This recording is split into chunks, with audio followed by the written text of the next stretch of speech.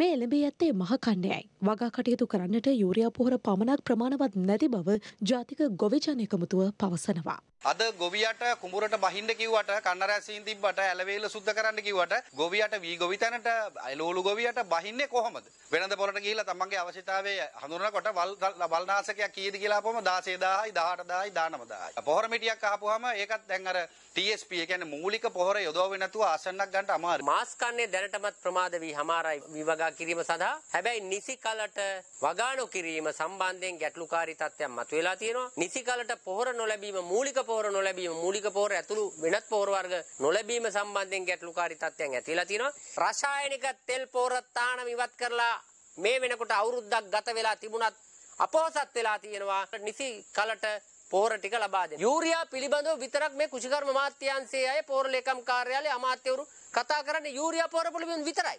භෝගයේ වර්ධනය සඳහා අවශ්‍ය මූලික පෝර ටික අද වෙනකොට කිසිම අවධානයක් යොමු කරලා නැහැ. 20යි 21යි 22 මාස් කන්නේටත් වඩා වෙච්ච සන්තෑසිය මේ පාර මාස් කන්නේත් වෙයිදෝ කියන සැක සංකාව අපිට තියෙනවා.